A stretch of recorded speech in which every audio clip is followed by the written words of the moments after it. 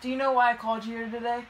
Uh, so we can watch a Bill and Ted action figure commercial. Yes, because I figure you are a child and you like toys. I figured let's let, let, me torture you with this.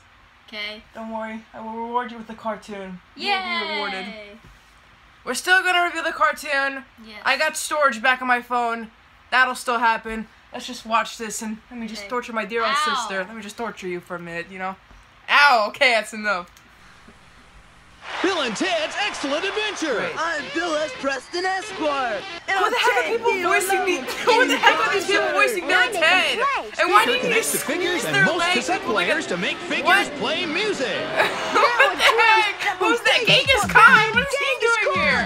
Why do you need new to plug in powerful a trainer. What's the phone? What the Excellent. heck? legs gets them jamming. Bill and Ted's Excellent Adventure. What? Party on, dude. Ah! You're right. we don't know what that was. We don't understand. What kind of toy is this? Why would any kid buy that? Because back then Bill and Ted were cool, and so was the cartoon. Actually crying. It's okay. It's okay.